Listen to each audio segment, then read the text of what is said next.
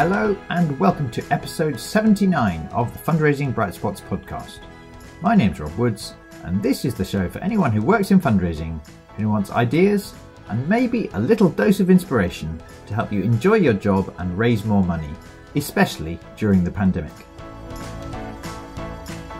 And today, if you're the leader of a fundraising team, or you have any leadership role in your personal life, or you're just curious about what makes a difference in successful leadership, then I hope you're going to find this episode helpful. Because today I'm sharing another section from a keynote speech I originally did at my Breakfast Club for Fundraising Leaders, and which is now available as one of many learning bundles we provide for fundraisers through our Bright Spot Members Club. The talk was inspired by a fascinating book called The Captain Class by Sam Walker. If you want more of the story, go to episode 78 of this podcast, where I explain it in a bit more detail. But for now, the gist is that he looked at all the data he could find showing the success of professional sports teams going back since records began. And he found the 16 most successful teams, including, for instance, an All Blacks rugby team in the 1980s that didn't lose for three and a half years. In this top 16, he found teams from a broad range of sports, including a stunningly successful Brazilian women's volleyball team and one extraordinary Russian men's ice hockey team as well as a couple of teams you're more likely to have heard of, like the Barcelona men's football team that won four domestic titles and two Champions League titles across a six year period in the late noughties. Then Walker searched to see if there was one factor that all of these successful teams had in common. What he discovered was that there was only one, and it was that their extraordinary success began around the time that one individual was made captain. He argues that it is possible for an individual leader to have an extraordinary influence on the performance of those around them, and he was curious as to what those 16 captains did in particular that had this powerful effect on success. In the book, he explores seven traits, many of which are not what students of sport and leadership would necessarily predict. In episode 78 of this podcast, I shared two traits in particular and drew parallels to what I've studied about outstanding leadership in fundraising.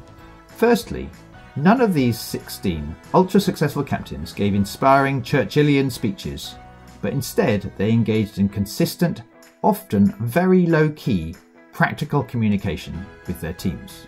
And secondly, they were relentless to an extreme degree.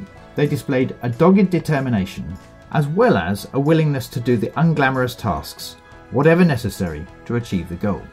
Crucially, these behaviours had a powerful effect on the commitment and effort levels of those around them. In today's episode, I'm pleased to share another excerpt from my original talk, in which I look at the unhelpful myth of the heroic leader, which we've been given from Hollywood movies and lots of other popular culture. And I share what Sam Walker found in his research into the traits of very successful leaders that confounds this enticing myth and I go on to share some things that I've noticed very successful charity leaders do that's consistent with Walker's findings. We pick up my talk as I start to explore the third idea I got from Sam's book, The Captain Class.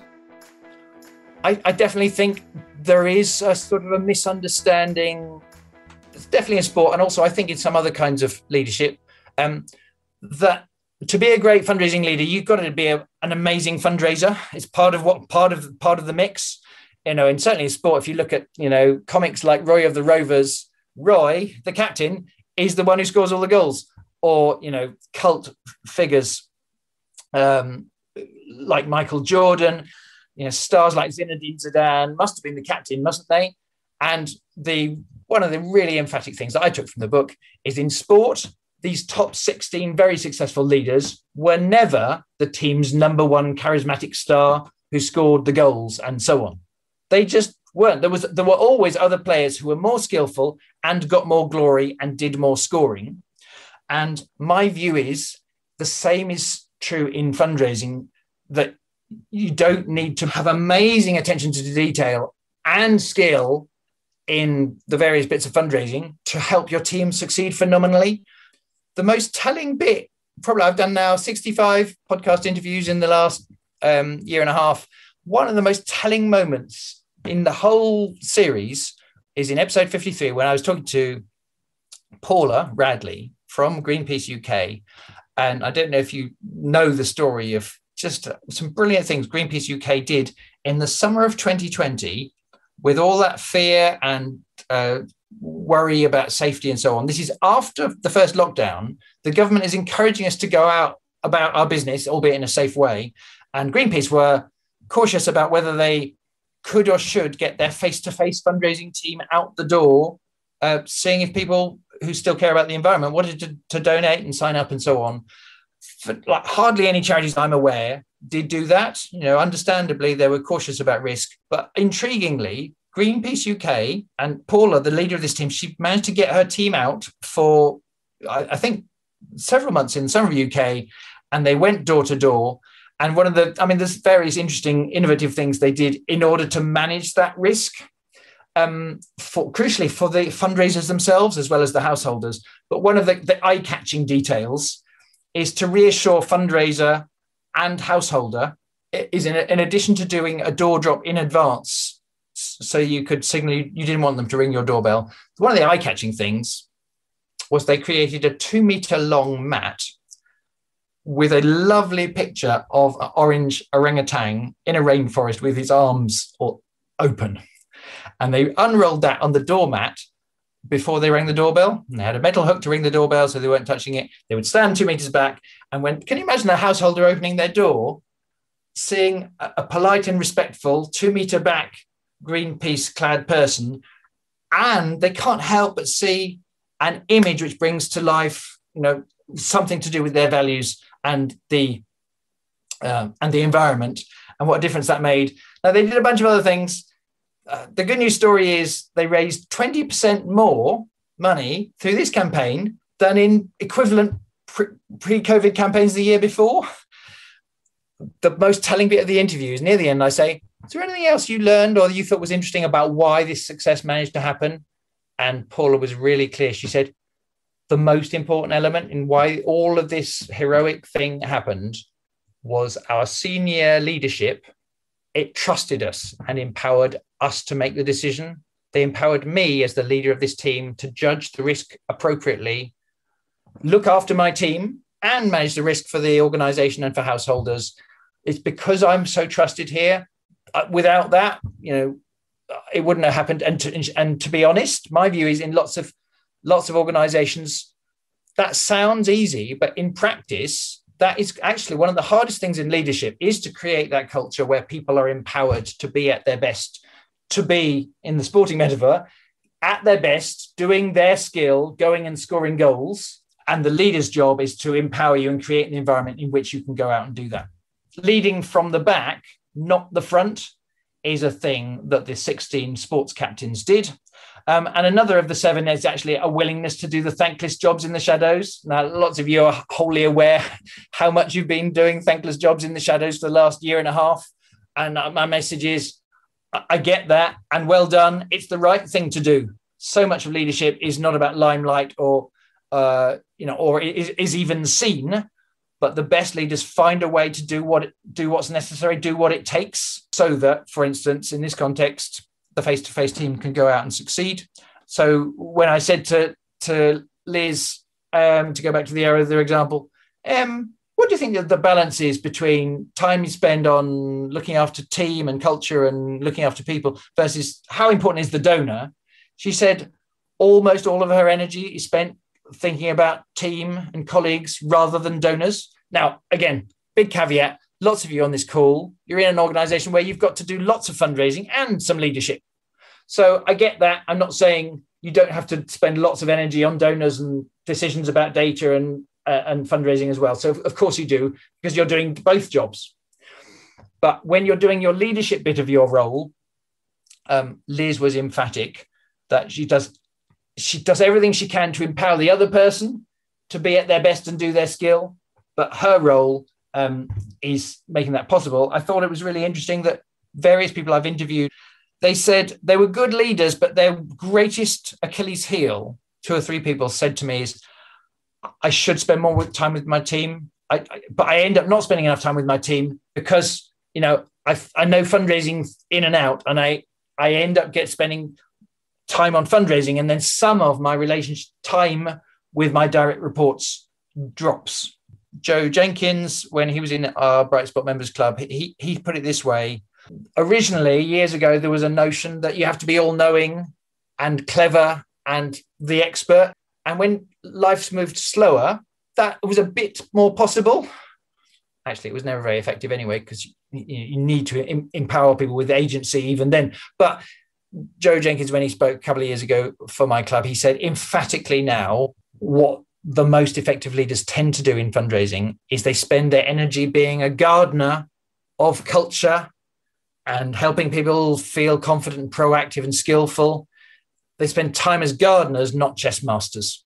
And that's part of, again, part of the rationale, in my view, for why the very successful Bee campaign for Friends of the Earth years ago was so successful. It wasn't one person's clever strategy, it was dozens and dozens and dozens of, of strategies and tactics consistent with the whole that people were empowered to creatively implement. On Breakfast Club a couple of months ago, Davinia shared a really similar thing. And if you want to check it out, episode 62 of my podcast, although her charities had stunning results in the last year, hardly any of what Davinia talks about is fundraising technique. Almost all of it is what she's done as a leader and with the team to help them do really well. And again, I appreciate that you guys understand this.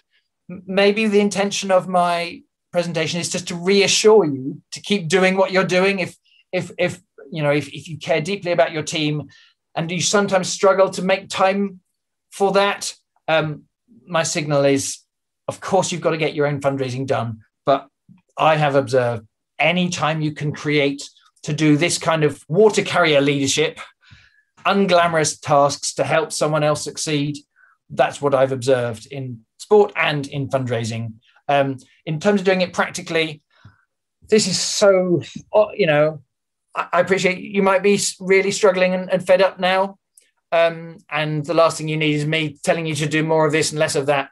Um, so that's not my intention. But one of the most valuable things I've noticed in the last year and a half, if you possibly can, is literally look after yourself first. So, a mentally, you can't help someone else if you're you're struggling because of the understandable demands and pressures and decision making and lockdown. But also literally, by which I mean years ago, I often I wasn't at my best during the day because I hadn't I'd intended to do a bit of meditating or intended to go for a little walk or intended to read a book to inspire me and I didn't get round to it because the day came at me one of the most powerful shifts I made years ago was to read this book called The Miracle Morning and I mean it's not a sexy thesis but it's an effective thesis he says do the thing that looks after your own well-being first thing in the morning and for some of you that's a walk for Diagonal, uh, now at Sustrans uh, it's 25 minutes of exercise on her, her static bike. Um, for some of you, it's just pausing to be great. What am I grateful for for five minutes or do some journaling? Whatever the thing is, do it early in the day before the day comes at you.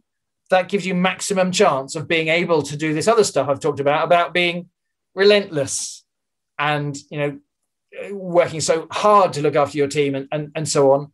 Look after yourself first is still among the most valuable habits I could recommend you try. Again, you know, you might have a tiny baby who's who's who's up at five in the morning anyway. So that you know, I appreciate not all of these things work for everyone, but I I think this is a, a, a crucial thing across the day. Get it done early, and then you you have the resources to do this other really challenging stuff for the rest of the day.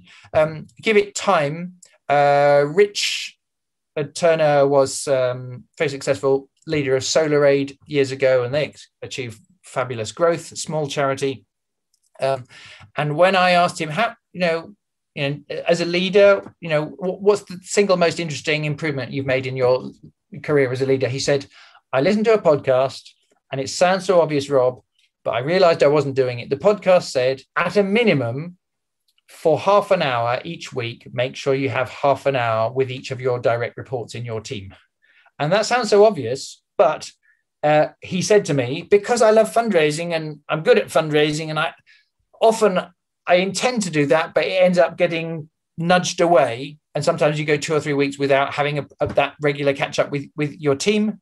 And Richard said, once I started doing that and, and locking it in, not bumping it for a donor or fundraising things, apart from in an extreme emergency, he said, I was amazed how amazing it was. And his little recipe was to um, do at least 10 minutes of it was just listening to the other person, what they wanted to talk about, rather than Richard control the agenda.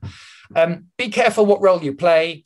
Um, it's just really tempting every day as a leader. People come to you with problems, and often they're problems you know more about because you, have got fundraising experience to, before you got promoted. Beware how easy it is to just give them the answer.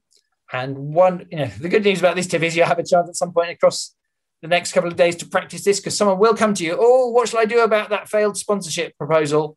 In that moment, my advice is pause. Don't jump in with the, the easy answer. Say, well, what do you think? And often they'll say, well, I don't know. But if you just hold your nerve and believe in their ability to say, well, what do you think are some of the issues? In that moment, it'll take a tiny bit longer, but you send a signal to them that you believe they are capable and have some of the answers. That massively pays you back in the medium term because people get become more and more empowered and likely to think for themselves rather than come to you for advice. So, what great leaders do, in my view, is they empower everyone else around them to become the best they can be, to become great leaders. And that tactic, though easy to explain, um, is not always easy to do because it's so tempting to just give the answer and save time. Well, I hope you found these ideas were helpful food for thought. If you did, please do remember to subscribe to the Fundraising Bright Spots podcast today so that you can get access to lots more episodes, including, for instance, episode 78, which is on this same subject of outstanding leadership. If you'd like a full transcript and a summary of the episode, as well as a couple of helpful links, go to the podcast section of our website, which is brightspotfundraising.co.uk. And if you're curious to see my full film and our notes about how to do this style of leadership, it's one of many dozens of films in our learning library for fundraisers who are part of the Bright Spot Members Club. If you don't have membership but you're curious about how the club works, both for individuals and for teams, go to brightspotmembersclub.co.uk forward slash join. Now, I'd like to say a massive thank you to everyone who's been commenting and sharing this podcast on social media or to your colleagues, helping us to get this free content out to as many charities as possible during this difficult year. And if you were able to take a moment to share today's episode, I'd be really grateful. Also, I'd love to hear what you think about this episode. You can find me easily on LinkedIn, and on Twitter, I'm at woods underscore rob. Thank you so much for listening today, Best of luck as you develop your fundraising and your leadership skills, and I look forward to sharing another Fundraising Bright Spots episode with you very soon.